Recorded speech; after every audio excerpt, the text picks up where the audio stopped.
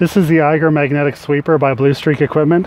This is a hanging magnetic sweeper. You can hang it from pretty much any vehicle you feel would be good to use it on. We recommend using this on like a shunt truck or a yard truck for prevention of flat tires in your yard or you can hang it on the we are just hanging it off the front of the bucket on these forks on this backhoe here um, we put it on the front because it's easy to see normally you'd want to put it underneath your vehicle if you're using it all the time this is sort of a temporary use for the purpose of the video although we have had some customers that have bought units for using them just like this this sweeper comes with 10 inch foam filled flat proof wheels um, it's got a four and a half by four and a half inch aluminum housing that's got a magnet inside that's three and a half inches deep by four inches wide. This is a very heavy unit. It weighs about 210 pounds. It's got four D-rings on the top for hanging it from.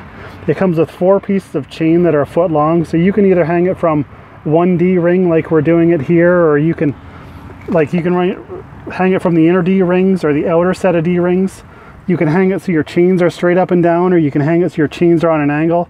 If your chains are on an angle, it'll make much more of a stable operation so it won't be swinging like this one is. The purpose of these bump wheels is so that when you're driving around and you've got a piece of equipment or a vehicle that's bouncing up and down such, I don't know if I can do it or not. You can see this. I can't really do it, I'm not strong enough. This backhoe is pretty heavy duty. When your vehicle's bouncing up and down, most magnets will hit the ground and it can cause you to damage your magnet or break the housing or wear it out over time.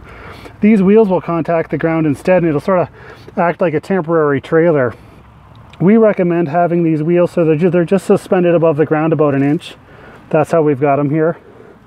And this magnet will pick up your metal debris. It's got a plastic sleeve that you can pull off lengthwise. So if this thing was underneath a vehicle, you can actually just pull the sleeve off lengthwise. You can see one of our other videos to see how that works.